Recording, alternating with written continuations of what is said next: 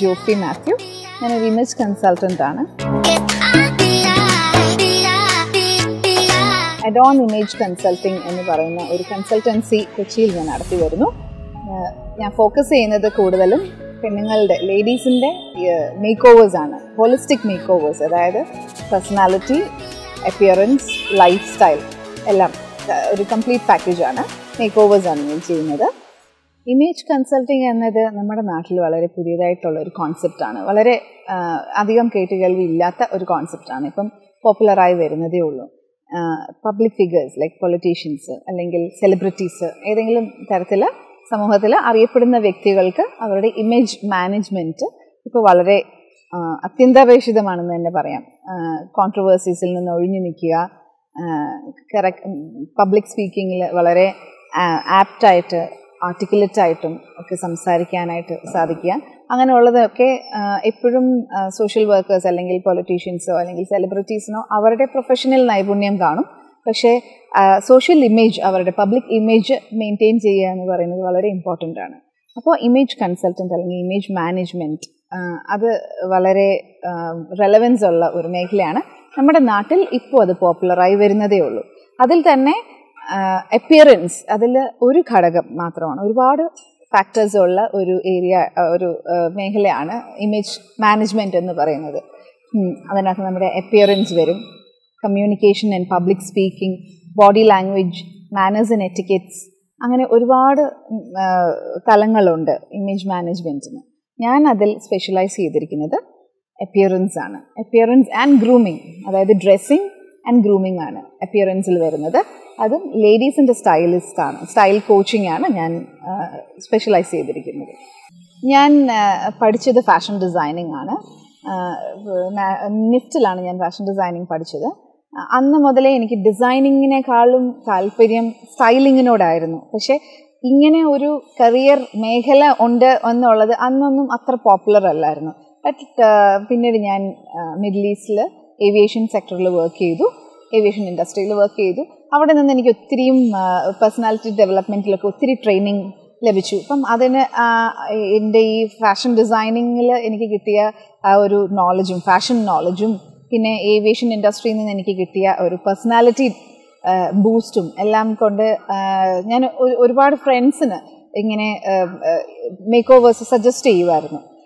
അങ്ങനെ വന്നപ്പോൾ എനിക്കതിൽ എനിക്കത് ചെയ്യാൻ സാധിക്കും എന്ന്. ഇന്നത്തെ കാലത്ത് ഒരു വലിയൊരു അഡ്വാന്റേജ് ഇന്നത്തെ ജനറേഷന് ഉള്ളത് എന്നാന്ന് വെച്ചാൽ നമ്മൾ ഏത് മേഖലയിലാണോ നമുക്ക് പാഷൻ നന്നായി ഡ്രസ്സ് ചെയ്ത് നടക്കാനാണ് പാഷനെങ്കിൽ അതിലും നമുക്കൊരു പ്രൊഫഷൻ കണ്ടെത്താം എന്നുള്ളതാണ് ഇന്നത്തെ കാലത്തിന്റെ ഒരു ഏറ്റവും വലിയൊരു പ്ലസ് പോയിന്റ് അപ്പോൾ എനിക്ക് ഇൻട്രസ്റ്റ് ഉള്ള ഒരു ഏരിയ ആയിരുന്നു മേക്കപ്പ് ഗ്രൂമിങ് ഡ്രസ്സിങ് സ്റ്റൈലിംഗ് ഒക്കെ.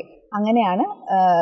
ആൻഡ് എനിക്ക് അതിനകത്ത് ഒരു നോഹാവ് ഉള്ളതുകൊണ്ട് ഓത്തന്റിക് ആയിട്ട് നമുക്കത് ചെയ്തു കൊടുക്കാൻ സാധിക്കും എന്നുള്ളത് എനിക്കറിയാമായിരുന്നു ഞാൻ ഇതേക്കുറിച്ച് ഒത്തന്റിക് ആയിട്ട് പഠിക്കുന്നതിന് മുമ്പ് തന്നെ ഫ്രണ്ട്സിനും റിലേറ്റീവ്സിനും ഒക്കെ വേണ്ടിയിട്ട് ഷോപ്പ് ചെയ്യാനും അവരെ അവർക്ക് ഇണങ്ങുന്ന രീതിയിലുള്ള ഡ്രസ്സസ് തിരഞ്ഞെടുത്ത് കൊടുക്കാനും. അപ്പോൾ ഞാൻ സെലക്ട് ചെയ്ത് കൊടുക്കുന്ന ഡ്രസ്സസും ഞാൻ സജസ്റ്റ് ചെയ്യുന്ന അപ്പിയറൻസ് ആ ലുക്സിൽ അവർ കുറേ കൂടെ ബെറ്റർ ലുക്കിംഗ് ആയിരുന്നു അല്ലെങ്കിൽ അപ്പിയറൻസിനെ ഇമ്പ്രൂവ് ചെയ്യുന്നു.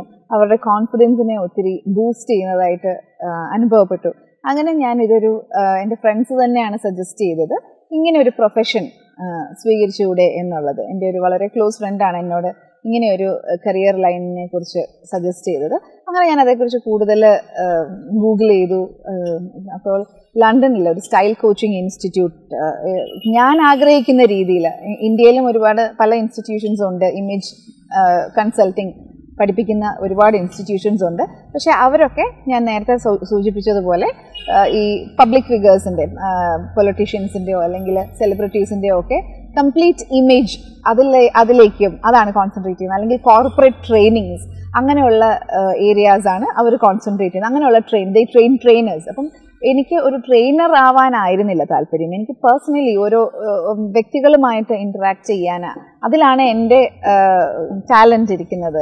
ഞാനൊരു പീപ്പിൾസ് പേഴ്സൺ ആണ്. അപ്പോൾ എനിക്ക് I can interact very well with people അവരെ ഇൻഫ്ലുവൻസ് ചെയ്യാനും സാധിക്കുമെന്നുള്ള ഒരു എന്നുള്ളൊരു വിശ്വാസം ഉള്ളതുകൊണ്ട് ഞാൻ വ്യക്തിപരമായിട്ട് പേഴ്സണൽ മേക്ക് ഓവേഴ്സാണ് ചൂസ് ചെയ്തത്.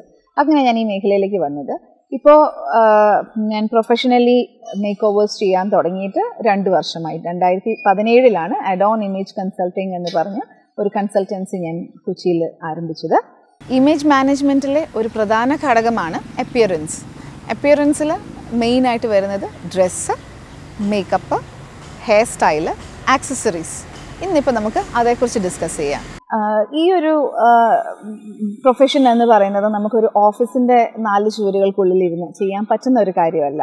ക്ലയൻസിനെയും കൊണ്ട് നമുക്ക് ചിലപ്പോൾ സലൂൺസിൽ പോകേണ്ടി വരും അല്ലെങ്കിൽ ഹെയർ സ്റ്റൈലിസ്റ്റിന്റെ അടുത്ത് പോകേണ്ടി വരും. ചിലർക്ക് ഡെർമറ്റോളജിക്കൽ ഇഷ്യൂസ് ഉണ്ടാവും. അത് റെക്ടിഫൈ ചെയ്യാനായിട്ട് ഡെർമറ്റോളജിസ്റ്റിന്റെ അടുത്ത് കൊണ്ടുപോകേണ്ടി വരും. അങ്ങനെ ഒരുപാട് സ്മൈൽ കറക്ഷൻ കോസ്മെറ്റിക് സർജറി ഇതൊക്കെ അതിന്റെ ഭാഗമായിട്ടുണ്ട്. ഷോപ്പിംഗ് അങ്ങനെ ക്ലയൻസിനെയും കൊണ്ട് പോയി ചെയ്യുന്ന ഒരു രീതിയാണ്. ഞാൻ ക്ലയൻസിനെ മീറ്റ് ചെയ്യുന്നത് ഞങ്ങൾ വളരെ റിലാക്സ്ഡ് ആയിട്ട് ഏതെങ്കിലും ഒരു കോഫി ഷോപ്പിലോ ഒരു ഐസ്ക്രീം പാർലറിലോ ഓവർ കപ്പ് ഓഫ് കോഫി ഇരുന്നിട്ടാണ് ഞങ്ങൾ പലപ്പോഴും ആദ്യത്തെ ഒന്ന് രണ്ട് മീറ്റിംഗ്സ് അറേഞ്ച് ചെയ്യുന്നത്. അപ്പോൾ ഇതിന്റെ ഒരു ബെനിഫിറ്റ് എന്ന് പറഞ്ഞു കഴിഞ്ഞാൽ വളരെ കാഷ്വൽ ആയിട്ടുള്ളൊരു മൂഡ് ക്രിയേറ്റ് ചെയ്യുമെന്ന് മാത്രമല്ല അവർ എങ്ങനെ ഇങ്ങനെയുള്ളൊരു സിറ്റുവേഷനിൽ അല്ലെങ്കിൽ ഒരു കോഫി ഷോപ്പിലോ ഒരു പബ്ലിക് പ്ലേസിലോ ആ ക്ലയന്റ് എങ്ങനെയാണ് ബിഹേവ് ചെയ്യുന്നത്? അങ്ങനെയുള്ള ഒരു സ്ഥലത്തേക്ക് വരുമ്പോൾ അവരെങ്ങനെ ഡ്രസ്സ് ചെയ്തിട്ടാണ് വരുന്നത്? ഇതൊക്കെ എനിക്ക് മനസ്സിലാക്കാനും കൂടെ സാധിക്കും. അല്ലെങ്കിൽ ഒരു പബ്ലിക് പ്ലേസിൽ അവരുടെ കോൺഫിഡൻസ് ലെവൽ എത്രത്തോളം ഉണ്ട്? അവരെത്ര കംഫർട്ടബിൾ ആണ് ആളുകളുമായിട്ട് ഇടപെടുന്നതിൽ? ഇതെല്ലാം മനസ്സിലാക്കിയതിന് ശേഷമാണ് അവരുടെ ഒരു മേക്ക് ഓവറിലേക്ക് നമ്മൾ കടക്കുന്നത്. നമ്മൾ ക്ലയന്റിന്റെ പേഴ്സണാലിറ്റി അവരുടെ കൾച്ചറൽ ബാക്ക്ഗ്രൗണ്ട് അവർ ഇപ്പോൾ ഫോർ എക്സാമ്പിൾ മുസ്ലിംസ് ഒക്കെ ആണെന്നുണ്ടെങ്കിൽ അവർക്ക് നമ്മൾ ഒത്തിരിയും സ്ലീവ്ലെസ് ടോപ്പുകളോ അല്ലെങ്കിൽ ഒത്തിരി ഇച്ചിരി ഭയങ്കര ഫാഷനബിൾ ആയിട്ടുള്ള ഡ്രസ്സസ് അവർക്ക് അവരുടെ ഫാമിലി അത്ര ആക്സെപ്റ്റ് ചെയ്യത്തില്ല. ഇപ്പം ഒരുപാട് പേര് അങ്ങനെ ഇടുന്നുണ്ട്. എങ്കിലും ആ ഒരു കൾച്ചറൽ ലിമി കൾച്ചറിന്റെ ലിമിറ്റിൽ നിൽക്കണം. പിന്നെ അതുപോലെ തന്നെ മലബാർ ഏരിയയിൽ നിന്നുള്ള ഒരുപാട് ക്ലയൻസ് എനിക്കുണ്ട്. അപ്പോൾ എറണാകുളത്തുള്ള കുട്ടികളോ അല്ലെങ്കിൽ സിറ്റിയിൽ ബാംഗ്ലൂർ ജീവിക്കുന്ന കുട്ടികളോ ഒക്കെ ഡ്രസ്സ് ചെയ്യുന്ന രീതിയിൽ ഈ കാലിക്കട്ടോ മാഹിയിലോ തലശ്ശേരിയിലോ ഒക്കെയുള്ള കുട്ടികളെ അവരുടെ ഡ്രസ്സിങ് സ്റ്റൈൽ ഞാൻ ആ രീതിയിലേക്ക് കൊണ്ടുവന്നു കഴിഞ്ഞാൽ അവരുടെ ആ ഒരു അവർ ജീവിക്കുന്ന ഏരിയയിൽ അത് അത്ര ഫീസിബിൾ ആയിരിക്കത്തില്ല. അപ്പം ആ അതിന്റെ ഫീസിബിലിറ്റി നോക്കണം. അതുപോലെ തന്നെ അവരുടെ പ്രൊഫഷൻ എന്താണ്? കൂടുതലും എന്റെ ക്ലയൻസ് ഡോക്ടേഴ്സാണ് ഡോക്ടർ എന്ന് പറയുന്നത് മെഡിക്കൽ പ്രൊഫഷൻ എന്ന് പറഞ്ഞാൽ വളരെ റെസ്പെക്ട്ഫുൾ റെസ്പെക്റ്റബിൾ ആയിട്ടുള്ള ഒരു പ്രൊഫഷനാണ് അവർ നേരിട്ട് പേഷ്യൻസുമായിട്ട് ഇന്ററാക്ട് ചെയ്യുന്നു. അപ്പോൾ ഒത്തിരി ഫ്ലാഷി ആയിട്ടുള്ള ഡ്രസ്സസ് അവോയ്ഡ് ചെയ്യണം. പിന്നെ ഇതുപോലെ ഓരോ അവർ പ്ലസന്റ് ആയിരിക്കണം. ഡോക്ടേഴ്സ് എപ്പോഴും പ്ലസന്റ് ആയിരിക്കണം. At the same time simple ആയിരിക്കണം. എലിഗന്റ് ആയിരിക്കണം. അപ്പം അങ്ങനെയുള്ള ഫാക്ടേഴ്സ് അങ്ങനെയുള്ള ഒരുപാട് കാര്യങ്ങൾ മനസ്സിൽ വെച്ചുകൊണ്ടാണ് ഓരോരുത്തർക്കും നമ്മൾ ഡ്രസ്സ് സജസ്റ്റ് ചെയ്യുന്നത്. പ്ലസ് അവരുടെ ഓരോ ഇത് വെയർ ചെയ്യുന്ന ആളുടെ ബോഡി സ്ട്രക്ചർ അവരുടെ ഫേസ് ഷേപ്പ് അവരുടെ പേഴ്സണാലിറ്റി എങ്ങനെയാണ്? ചിലർക്ക് ഇച്ചിരി സീരിയസ് ആയിട്ടുള്ള പേഴ്സണാലിറ്റി ആയിരിക്കും. അവർക്ക് നമ്മൾ ഇച്ചിരി ഭയങ്കര കളർഫുൾ ആയിട്ടുള്ളതൊന്നും കൊടുത്തു കഴിഞ്ഞിട്ടുണ്ടെങ്കിൽ അവരുടെ പേഴ്സണാലിറ്റിക്ക് അത് ക്ലാഷ് ആയി ആയി പോകും. അപ്പം അവർക്ക് തന്നെ മനസ്സിലാക്കി കൊടുക്കുക എന്നുള്ളത് സ്റ്റൈൽ കോച്ചിങ് ആണ് ഞാൻ ചെയ്യുന്നത്. എന്നും നമുക്ക് അവരെ അവരുടെ കൂടെ ഷോപ്പിംഗ് അസിസ്റ്റൻസിന് പോകാൻ പറ്റില്ല. അവർ അവർ പഠിക്കണം. എന്റെ ശരീരഘടനയ്ക്ക് അനുസരിച്ച് ഞാൻ എങ്ങനെ ഡ്രസ്സ് ചെയ്താൽ ഞാൻ നന്നായിരിക്കും. എന്റെ ഫേസ് ഷേപ്പിനനുസരിച്ച് ഞാൻ എങ്ങനെ മുടി വെട്ടിയാൽ എങ്ങനെ മുടി കെട്ടിയാൽ എങ്ങനത്തെ കമ്മലിട്ടാൽ അല്ലെങ്കിൽ എങ്ങനെ മേക്കപ്പ് ചെയ്താൽ നന്നായിരിക്കും. ഏത് കളറിലെ ലിപ്സ്റ്റിക്കാണ് എനിക്ക് സൂട്ട് ചെയ്യുക ഏത് കളറിലെ ഡ്രസ്സാണ് എനിക്ക് സൂട്ട് ചെയ്യുക. എനിക്ക് ഏറ്റവും ഞാൻ എന്ന വ്യക്തിക്ക് ഏറ്റവും കോംപ്ലിമെന്റ് ചെയ്യുന്ന ഡ്രസ്സിങ് എങ്ങനെയാണ്? ഫോർ എക്സാമ്പിൾ കുറച്ച് ഹൈ ചീക്ക് ബോൺസ് ഉള്ള അല്ലെങ്കിൽ കുറച്ച് ചബി ചീക്ക് ചീക്സ് ഉള്ള ഒരാൾക്ക് കുറച്ച് സ്ലിമ്മിങ് ആയിട്ടുള്ള ഒരു ഹെയർ സ്റ്റൈലായിരിക്കും അവർക്ക് സൂട്ട് ചെയ്യുക ഇപ്പം നമ്മൾ ഇപ്പം നമ്മുടെ നാട്ടിൽ ഈ സ്ട്രേറ്റനിങ് വളരെ കോമൺ ആണ്. പക്ഷെ വലിയ ഫേസ് ഉള്ളവർക്ക് സ്ട്രേറ്റൻ ചെയ്ത് മുടി ചേരത്തില്ല. അവരുടെ ഫേസ് ഒന്നും കൂടെ വലിപ്പം തോന്നിക്കും. സ്ലിം ഫേസ് ഉള്ളവർക്കാണെങ്കിൽ സ്ട്രേറ്റൻഡ് ഹെയർ ഭംഗിയായിരിക്കും. വേറെ കുറച്ച് വലിയ മുഖം ഉള്ളവർക്കാണെന്നുണ്ടെങ്കിൽ അതനുസരിച്ച് മുഖത്തിനെ ഫ്രെയിം ചെയ്യുന്ന ചുറ്റിനും പടർന്ന് കിടക്കുന്ന രീതിയിലുള്ള ഹെയർ സ്റ്റൈലായിരിക്കും നല്ലത്. അതുപോലെ തന്നെ വലിയ ചബി ഫേസ് ഉള്ളവർക്ക് ഇറുകി കിടക്കുന്ന ചോക്കേഴ്സ് ചേരത്തില്ല. കാതിൽ വട്ടം കിടക്കുന്ന കമ്മൽ ചേരത്തില്ല. ഇച്ചിരി നീണ്ട കമ്മലിടുക അല്ലെങ്കിൽ കുറച്ച് ഇറങ്ങിയ മാല ഇടുക അതൊക്കെ അവരുടെ ഫേസിനെ കുറച്ചും കൂടെ ലോങ് ആയിട്ട് കാണപ്പെടാനായിട്ട് ഹെൽപ്പ് ചെയ്യും. ഇനി നമുക്ക് ഡ്രസ്സിങ്ങിനെ കുറിച്ച് പറയുകയാണെന്നുണ്ടെങ്കിൽ നമ്മൾ കുറച്ച് മെലിഞ്ഞ കുട്ടികൾക്കാണെന്നുണ്ടെങ്കിൽ കുറച്ച് വലിയ പ്രിന്റുകൾ ലൈറ്റ് ആയിട്ടുള്ള കളേഴ്സ് നല്ല ബ്രൈറ്റ് ആയിട്ടുള്ള കളേഴ്സ് ഓക്കെ ലൈറ്റ് ഷെയ്ഡ്സും അവർക്ക് നന്നായിട്ട് ഇണങ്ങും പിന്നെ കുറച്ച് നല്ല ബ്രൈറ്റ് ഷെയ്ഡ്സ് വേണം. വേറെ കുറച്ച് വണ്ണം ഉള്ളവർക്കൊക്കെ ആണെന്നുണ്ടെങ്കിൽ ഒത്തിരി ബ്രൈറ്റ് ഷെയ്ഡ്സ് ഇട്ട് കഴിഞ്ഞാൽ അവർക്ക് ഒന്നും കൂടെ വണ്ണം കൂടുതൽ തോന്നും. പിന്നെ അതുപോലെ തന്നെ വണ്ണം ഉള്ളവർക്ക് വലിയ പ്രിന്റുകൾ ചേരത്തില്ല. ചെറിയ പ്രിന്റുകളായിരിക്കും നല്ലത്. അതുപോലെ തന്നെ ഡ്രസ്സിനെ മൂന്നായിട്ട് ഭാഗിക്കുകയാണെന്നുണ്ടെങ്കിൽ എൽ ഫുൾ ഒരേ കളറിൽ ഇരിക്കുകയാണെന്നുണ്ടെങ്കിൽ വീതി കൂടുതൽ തോന്നിക്കും. ഡ്രസ്സിനെ നമുക്ക് ഇപ്പോൾ പ്രിൻസസ് കട്ട് പോലെയുള്ള പാറ്റേൺസ് വരികയാണെന്നുണ്ടെങ്കിൽ സൈഡിൽ വേറെ കളേഴ്സ് വരികയാണെന്നുണ്ടെങ്കിൽ അതല്ല എന്നുണ്ടെങ്കിൽ ഒരു ഒരു റൗണ്ട് നെക്ക് ടീഷർട്ടിന്റെ കൂടെ ഒരു ഷ്രഗ് ഇടുവാണെന്നുണ്ടെങ്കിൽ അപ്പോൾ ആ ഷ്രഗിന് കോൺട്രാസ്റ്റ് കളറാണെങ്കിൽ അപ്പം അതിനകത്ത് ഒരു മൂന്ന് ഷെയ്ഡ്സ് ആയിട്ടായിരിക്കും കാണുന്നത്. അപ്പം അങ്ങനെ വരുമ്പോൾ നമുക്ക് കുറച്ച് വണ്ണം കുറവ് തോന്നിക്കും. അതുപോലെ തന്നെ കുറച്ച് തണ്ട് സൈസ് ഒക്കെ ഉള്ളവർ കഴിവതും വളരെ സ്കിൻ ഫിറ്റ് ആയിട്ടുള്ള ജീൻസും ട്രൗസേഴ്സും അവോയ്ഡ് ചെയ്യുക. സൈസ് കവർ ചെയ്യുന്ന രീതിയിലുള്ള ടോപ്പുകൾ ലെങ്ത്ത് ഡ്രസ്സിന്റെ ലെങ്ത് അതനുസരിച്ച്. എവ- എവിടെയാണോ നമ്മുടെ പ്രോബ്ലം ഏരിയ ഏതാണോ അത് നമ്മൾ കവർ ചെയ്യുക എന്നുള്ളതാണ്. അങ്ങോട്ടേക്ക് ശ്രദ്ധ ആകർഷിക്കാതിരിക്കുക. ചിലപ്പോൾ നമുക്ക് കവർ ചെയ്യാൻ പറ്റുന്നതായിരിക്കത്തില്ല. പക്ഷേ അവിടെ അപ്പം വേറെ നമ്മളുടെ ഹൈലൈറ്റ് ചെയ്യാൻ പറ്റുന്ന ഏരിയയിലേക്കായിരിക്കണം ആളുകളുടെ ഫോക്കസ് വരുന്നത്. നമുക്ക് കുറച്ച് ഹിപ്പിന് വണ്ണം ഉള്ളവരാണെന്നുണ്ടെങ്കിൽ ഹിപ്പിലേക്ക് നോക്കാത്ത രീതിയിൽ നല്ലൊരു നെക്ലസ് അല്ലെങ്കിൽ നല്ലൊരു ചെയിൻ അല്ലെങ്കിൽ നല്ല ഭംഗിയുള്ള നെക്ക് ലൈൻ ഉള്ള ഒരു ടോപ്പ് ഇതുവാണെന്നുണ്ടെങ്കിൽ തീർച്ചയായിട്ടും ആളുകൾ നമ്മളെ നോക്കുമ്പം ഫസ്റ്റ് അവരുടെ നോട്ടം പോകുന്നത് ആ അട്രാക്റ്റീവ് ആയിട്ടുള്ള ഇതിലേക്കായിരിക്കും. നെക്ക് ലൈനിലോ അല്ലെങ്കിൽ നെക്ലെസ്സോ അതിലേക്കായിരിക്കും. അപ്പം തീർച്ചയായിട്ടും നമ്മുടെ പ്രോബ്ലം ഏരിയ ഹിപ്പാണ് പ്രോബ്ലം ഏരിയ എന്നുണ്ടെങ്കിൽ അവിടുന്ന് അറ്റൻഷൻ ഡൈവേർട്ട് ആവും. അതുപോലെ ഡ്രസ്സിന് മാച്ച് ചെയ്യുന്ന ആക്സസറീസ് ആ കാര്യത്തിൽ നമ്മുടെ മലയാളികൾ ഒരുപാട് പുറകോട്ടാണെന്നാണ് എന്റെ അഭിപ്രായം. പലപ്പോഴും നമ്മൾ നന്നായിട്ട് ഡ്രസ് ചെയ്ത കുട്ടികളെ കോളേജ് ഗേൾസിനെ ആണെങ്കിലും അല്ലെങ്കിൽ എംപ്ലോയിഡ് ആയിട്ടുള്ള കുട്ടികളാണെങ്കിലും നന്നായിട്ട് ഡ്രസ്സിങ്ങിൽ ഒത്തിരി കോൺസെൻട്രേറ്റ് ചെയ്യുന്ന ഒരുപാട് പേരെ നമുക്ക് ഇന്ന് കാണാൻ സാധിക്കും. സിറ്റീസിൽ എസ്പെഷ്യലി പക്ഷേ അവരും പലപ്പോഴും ഇഗ്നോർ ചെയ്യുന്ന ഒരു എലമെന്റ് ആണ് ആക്സസറീസ് ലൈക്ക് ഫുട്വെയർ അല്ലെങ്കിൽ ജ്വല്ലറി അല്ലെങ്കിൽ വാച്ച് അങ്ങനെയൊക്കെയുള്ള കാര്യങ്ങൾ അല്ലെങ്കിൽ കൊണ്ടുപോ കൊണ്ട് കയ്യിലിരിക്കുന്ന ബാഗ് അങ്ങനെയുള്ള കാര്യങ്ങൾ പലപ്പോഴും അവർ ഇഗ്നോർ ചെയ്യാറുണ്ട്. അതേക്കുറിച്ച് അവർക്ക് അറിയില്ല എന്നുള്ളതാണ്. ഞാൻ പലപ്പോഴും കണ്ടേക്കുന്ന ഒരു കാര്യം എന്ന് പറഞ്ഞു കഴിഞ്ഞാൽ നല്ല ജീൻസും വെസ്റ്റേൺ ടോപ്പും ഒക്കെ ഇട്ടിട്ട് അതിന്റെ കൂട്ടത്തിൽ സാരിയുടെ കൂടെ ഇടുന്ന ടൈപ്പിലെ ഫുട്വെയർ യൂസ് ചെയ്യും. അതെല്ലാം അതല്ലാന്നുണ്ടെങ്കിൽ അങ്ങനെ ഒട്ടും വളരെ കംഫർട്ടബിൾ ആയിട്ടുള്ള ഇപ്പം പിന്നെ മെതിയടി എന്ന് പറയുന്ന സ്ലിപ്പേഴ്സ് അതൊക്കെ ഭയങ്കര അത് അങ്ങനെയൊക്കെ ഉള്ളത് ഇട്ടുകൊണ്ട് ഒരു നമ്മൾ ഒരു കാഷ്വലി നമ്മളൊരു ബീച്ചിൽ പോകുമ്പോഴോ അല്ലെങ്കിൽ ഒരു വൈകുന്നേരം ചുമ്മാ ഫ്രണ്ട്സുമായിട്ട് നടക്കാൻ ഇറങ്ങുമ്പോഴോ ഒക്കെ അങ്ങനെയുള്ളതിട്ടാൽ കുഴപ്പമൊന്നുമില്ല. പക്ഷെ നമ്മളൊരു ഓഫീസിലേക്ക് പോകുമ്പോൾ അല്ലെങ്കിൽ ഫോർമലായിട്ട് കുറച്ച് കുറച്ചുകൂടെ ഒരു അപ്പിയറൻസ് ശ്രദ്ധിക്കേണ്ട ഒരു സ്ഥലത്തേക്കൊക്കെ പോകുമ്പോൾ അങ്ങനെയുള്ള ഫുട്വെയർ കാൽ കാലിലേക്കാണ് ആദ്യം നമ്മുടെ ശ്രദ്ധ ചെല്ലുന്നത്. ഒരു ആളെ നമ്മൾ ഒരു പുരുഷനാണെങ്കിൽ പ്രത്യേകിച്ച് നമ്മൾ ഒരാളെ പരിചയപ്പെടുമ്പോൾ ആദ്യം നോട്ടീസ് നമ്മൾ അറിയുന്നില്ല ആദ്യം നമ്മൾ നോട്ടീസ് ചെയ്യുന്ന എലമെന്റ് എന്ന് പറയുന്നത് അവരുടെ ഷൂസ് ആണെന്നാണ് പറയുന്നത്. അപ്പോൾ അത് നമ്മൾ കുറച്ചും കൂടി ഇമ്പോർട്ടൻസ് കൊടുക്കേണ്ടതുണ്ട് മലയാളികൾ എസ്പെഷ്യലി പിന്നെ പെൺകുട്ടികളുടെ കാര്യം പറയുകയാണെങ്കിൽ ആക്സസറീസ് മുഖത്തിന് ഇണങ്ങുന്ന തരത്തിലുള്ള ജ്വല്ലറി ആണോ യൂസ് ചെയ്യുന്നത്. പലപ്പോഴും ബ്രൈഡ്സിനെയൊക്കെ കണ്ടുവരുന്നത്.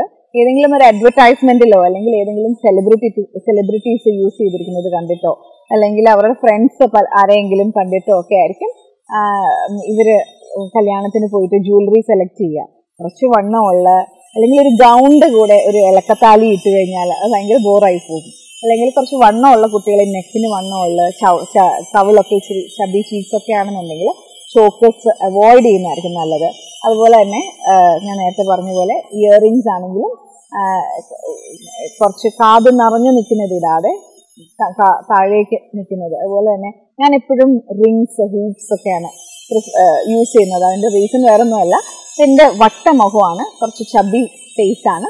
അപ്പോൾ അതിനെ കുറച്ചൊന്ന് തിൻ ഡൗൺ ചെയ്യാൻ വേണ്ടിയിട്ടാണ് ഇങ്ങനെ ഉള്ള ആക്സസറീസ് ഇടുന്നത്. അതുപോലെ തന്നെ ഒരിടയ്ക്ക് സ്റ്റേറ്റ്മെന്റ് റിങ്സ് ഭയങ്കര ഫാഷനായിരുന്നു അപ്പോൾ ഒരു സ്റ്റേറ്റ്മെന്റ് റിങ് നമ്മൾ യൂസ് ചെയ്യുവാണെങ്കിൽ അതിന്റെ കൂടെ മറ്റ് വലിയ വലിയ ജ്വല്ലറി യൂസ് ചെയ്യാതിരിക്കുക. ആ ആ റിങ്ങിലേക്കായിരിക്കണം ഫോക്കസ് അതല്ല ഒരു വലിയൊരു ഇയർ സ്റ്റേറ്റ്മെന്റ് ഇയർ റിംഗ് ആണ് യൂസ് ചെയ്യുന്നത്. വലിയൊരു ഇയർ ഷാൻഡിലിയർ ഇടുകയാണെന്നുണ്ടെങ്കിൽ കഴിവതും നെക്ക് ബയറായിട്ട് വിടുക. കഴുത്തിലും കാതിലും വലിയ വലിയ സാധനങ്ങൾ ഇട്ട് കഴിഞ്ഞിട്ടുണ്ടെങ്കിൽ ഭയങ്കര ഓവറായിട്ട് തോന്നിക്കും. അത് ഓവർ ഡ്രസ്ഡ് അപ്പ് ആയിട്ട് തോന്നിക്കുന്നു മാത്രമല്ല അത് നമുക്ക് കൂടുതൽ വണ്ണം തോന്നിക്കാനും അട്രാക്റ്റീവ് ആയിരിക്കത്തില്ല. അപ്പം അങ്ങനെയുള്ള ആക്സസറീസ് നമ്മൾ ചൂസ് ചെയ്യുമ്പോൾ വളരെ കെയർഫുൾ ആയിരിക്കണം. നമ്മൾ ഡ്രസ്സിന് ഇണങ്ങുന്നതായിരിക്കണം ഒക്കേഷനിന് ഇണങ്ങുന്നതായിരിക്കണം. നമ്മളൊരു വെസ്റ്റേൺ ലുക്ക് ആണ് ക്യാരി ചെയ്യുന്നതെന്നുണ്ടെങ്കിൽ വെസ്റ്റേൺ ലുക്കിൽ തന്നെ ഉള്ള ആക്സസറീസ് ആയിരിക്കണം. എത്നിക് ലുക്കാണ് നമ്മൾ ഡ്രസ്സിൽ ഇട്ടിരിക്കുന്നതെന്നുണ്ടെങ്കിൽ എത്നിക് ലുക്ക് ഉള്ള ആക്സസറീസ് ആയിരിക്കണം നമ്മൾ യൂസ് ചെയ്യുന്നത്. അത് തമ്മിൽ ക്ലാഷ് വരാൻ പാടില്ല. അതുപോലെ തന്നെ ഫുട്വെയർ ആണെങ്കിലും ബാഗ് ആണെങ്കിലും ഇപ്പം ഒരു ജീൻസിന്റെ കൂടെ നമ്മൾ കൊണ്ട് നടക്കുന്ന ഒരു ബാഗ് ഒരിക്കലും ഒരു കല്യാണത്തിന് പോകുമ്പോൾ ഒരു സാരി എടുത്തിട്ട് അതേ ബാഗ് തന്നെ കൊണ്ടുപോകരുത്. ബാഗ് കയ്യിൽ ഇല്ലെങ്കിലും കുഴപ്പമില്ല. ഒരു സാരിയുടെ കൂടെ ഒരു ഫംഗ്ഷന് പോകുമ്പോൾ ഒരു ക്ലച്ച് പേഴ്സ് ആയിരിക്കും ഏറ്റവും ഉത്തമം. ഇനിയിപ്പോൾ ക്ലച്ച് പേഴ്സ് ഇല്ലെങ്കിലും കുറച്ച് ഒരു എത്നിക് ലുക്കിംഗ് ആയിട്ടുള്ള ഒരു ബാഗ് നമ്മൾ ക്യാരി ചെയ്യുക നമുക്കിപ്പോൾ മൊബൈൽ ഇടണം.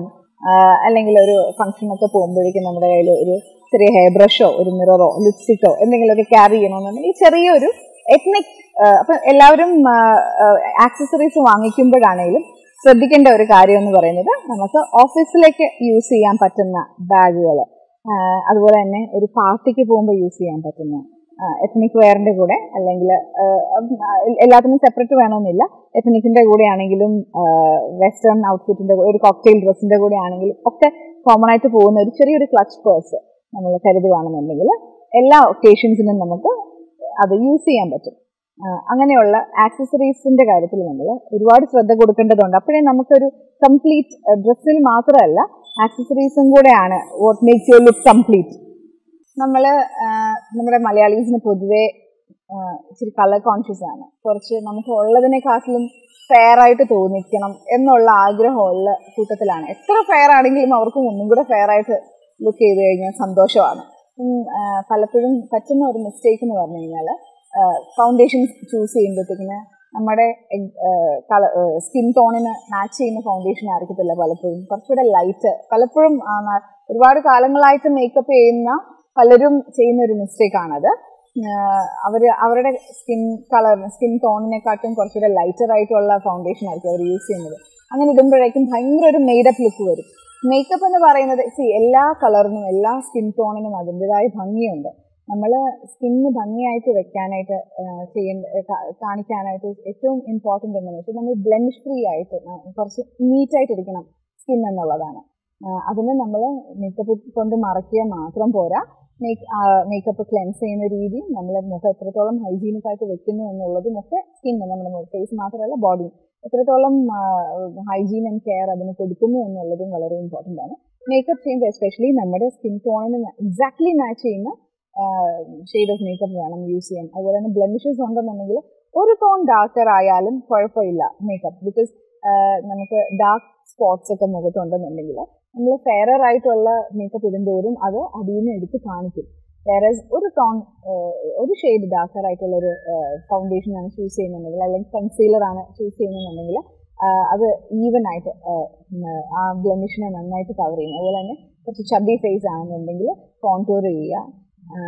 പിന്നെ അതുപോലെ തന്നെ ലിപ്സ്റ്റിക്ക് അത് ഒക്കേഷൻ അനുസരിച്ച് വേണം ലിപ്സ്റ്റിക്ക് ചൂസ് ചെയ്യാനായിട്ട്. കുറച്ച് പൊങ്ങിയ പല്ലുള്ള അല്ലെങ്കിൽ പ്രൊട്രൂഡിങ് ആയിട്ടുള്ള ജോ ലൈൻ ഉള്ളത് അപ്പോൾ എനിക്കൊക്കെ ഇച്ചിരി പ്രൊട്രൂഡിങ് ജോ ലൈൻ ആണ്. അപ്പോൾ ഞാനൊക്കെ ഒത്തിരി ഡാർക്ക് ഷെയ്ഡിലെ ലിപ്സ് ഇട്ട് കഴിഞ്ഞിട്ടുണ്ടെങ്കിൽ അതെനിക്ക് സൂട്ട് ചെയ്യത്തില്ല. ഒന്നും കൂടെ കുറച്ച് പല്ല് പൊങ്ങിയതുപോലെ തോന്നുക. അല്ലെങ്കിൽ അത് ഒരു അഭംഗിയായിട്ട് തോന്നും.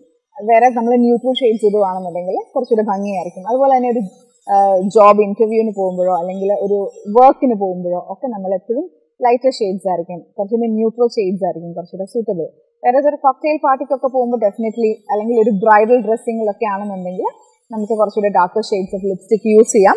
പക്ഷേ നമ്മുടെ സ്കിൻ ടോൺ അനുസരിച്ച് വേണം. നമ്മൾ ഒരിക്കലും വേറെ ഒരാൾക്ക് സൂട്ട് ചെയ്തു എന്ന് വിചാരിച്ചിട്ട് അതേ ഷെയ്ഡ് ഓഫ് ലിപ്സ്റ്റിക് നമ്മൾ ചൂസ് ചെയ്യരുത്. നമ്മൾ ട്രൈ ചെയ്ത് ചെയ്ത് നോക്കിയിട്ട് ലിപ്സ്റ്റിക് ആയാലും ഫൗണ്ടേഷൻ ആയാലും എപ്പോഴും ഓരോ തവണയും നമ്മൾ വാങ്ങിക്കാൻ പോകുമ്പോൾ ട്രൈ ചെയ്ത് നോക്കുക. ഓൺലൈനൊക്കെ വാങ്ങിക്കുമ്പോൾ വാങ്ങിക്കുമ്പോൾ പറ്റുന്ന ഒരു പ്രശ്നം അതാണ്. നമുക്ക് ട്രൈ ചെയ്യാനായിട്ടുള്ള ഒരു ഓപ്പർച്യൂണിറ്റി കിട്ടുന്നില്ല. പക്ഷെ നല്ല ഷെയ്ഡായിട്ട് തോന്നും. ഡ്രസ്സിന്റെ കാര്യത്തിലും അതുപോലെ തന്നെ. നമ്മൾ നല്ലൊരു കളറാണ്. പക്ഷെ ആ കളർ നമുക്ക് സ്യൂട്ട് ചെയ്യണമെന്നില്ല. ഒരു പെർട്ടിക്കുലർ ഷെയ്ഡ് ഓഫ് പീച്ച് എനിക്ക് ഒരു ഷെയ്ഡ് ഓഫ് പീച്ച് കളർ ഒരു ഡ്രസ്സ് ഉണ്ട് അല്ലെങ്കിൽ ലിപ്സ്റ്റിക് ഉണ്ട്. അതെനിക്ക് സൂട്ട് ചെയ്തു. പക്ഷെ പീച്ചിന്റെ തന്നെ വേറൊരു ഷെയ്ഡ് സ്ലൈറ്റ്ലി ഡിഫറൻസ് ഉള്ള ഒരു ഷെയ്ഡ് എനിക്ക് സൂട്ട് ചെയ്യണം എന്നില്ല അപ്പോൾ അത് വളരെ കെയർഫുൾ ആയിരിക്കണം നമ്മൾ മേക്കപ്പ് ചൂസ് ചെയ്യുമ്പോഴും. ഡ്രസ് ചൂസ് ചെയ്യേണ്ടി വരും. അപ്പം മേക്കപ്പിന്റെ കാര്യം പറയുകയാണെന്നുണ്ടെങ്കിൽ കോൺടൂറിങ് അത്യാവശ്യം നമ്മുടെ